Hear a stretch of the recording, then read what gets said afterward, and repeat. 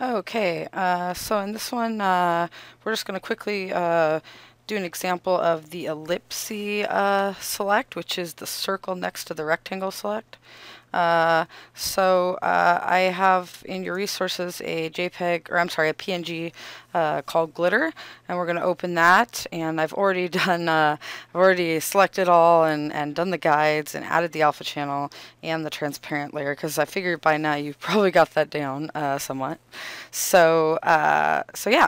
So the only difference in this is that you can see that we have a circle shape here to edit rather than a rectangle. So for that, we will click on the ellipse select uh, tool and it works exactly the same way as the, uh, the rectangle. You just click and it's going to start to uh, form a circle that you can drag the edges of until it, uh, until it takes up the right amount of space in the right place here. Um, and uh,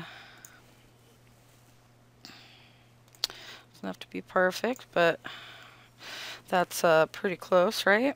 And then make sure you got the glitter layer selected. And uh, so at this point we can hit delete and we can remove that uh, solid black center and we can replace it with uh, whatever we want, uh, essentially.